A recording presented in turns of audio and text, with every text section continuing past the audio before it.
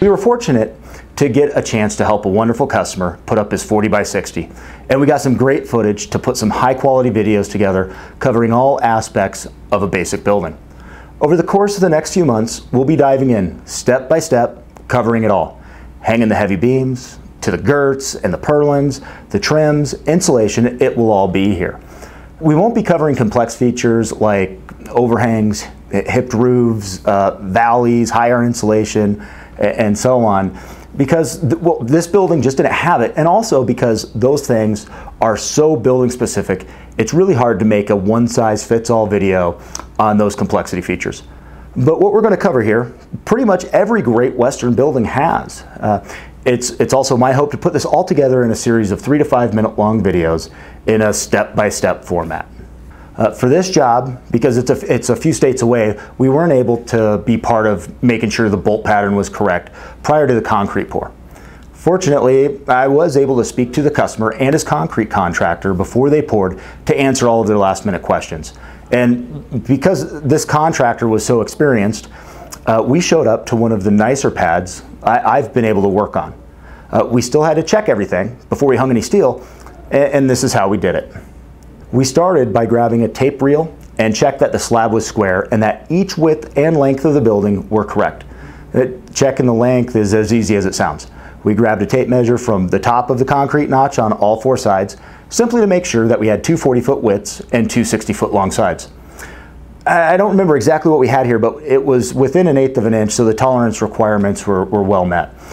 The, the corner to corner measurement will tell you if you're working with a square slab on a 40 by 60 like this, I'd say a quarter inch is, is good enough not to worry about it. Uh, but here we, we were a, a, little bit better than that, so we moved on to checking the bolts themselves. First, we checked the main frame bolts. Uh, this is where the main clear span frames bolt down to the concrete. The bay spacing on this building is 20 foot, which uh, along with 25 foot is, is, pretty typical for, for our buildings. But your building may have a different setup, 22 and a half feet, 27 foot, or, or whatever, based on your specific building length versus the bay spacing. 60 foot long buildings will almost always have 20 foot bays, and a 75 foot building will almost always have 25 foot bays. Uh, but a 100 footer could have 20 or 25 uh, or a mix.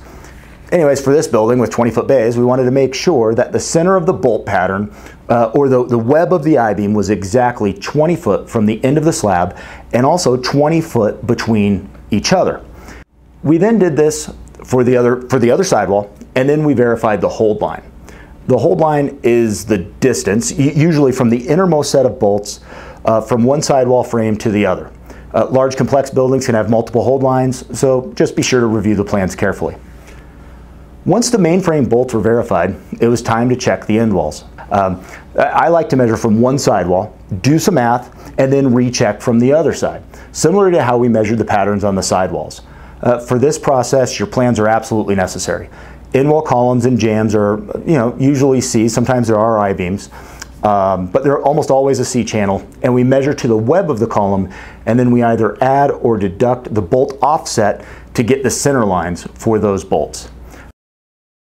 Uh, C's either face inwards or outwards, we call it toeing in or toeing out, and the bolts, uh, generally speaking, are, are one and three quarters of an inches from the web or the tall part of the C.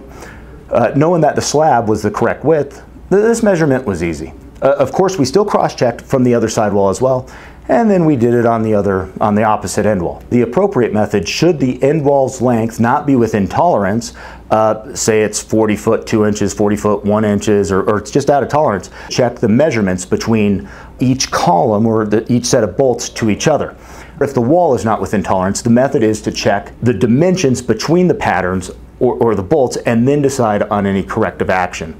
Uh, this is some tough math, so if you wind up in this situation, give us a call so we can outline the process and help you troubleshoot. If your end wall concrete is exactly what it should be, there's no reason to do it this way. There's just too much room for error with the tape measure. There's what, what I call the dumb end of the tape measure, the end. Uh, but when doing it this way, the, the smarter person really should hold the end of the tape. The, the end of the tape measure slides back and forth a little bit to account for the thickness of the hook.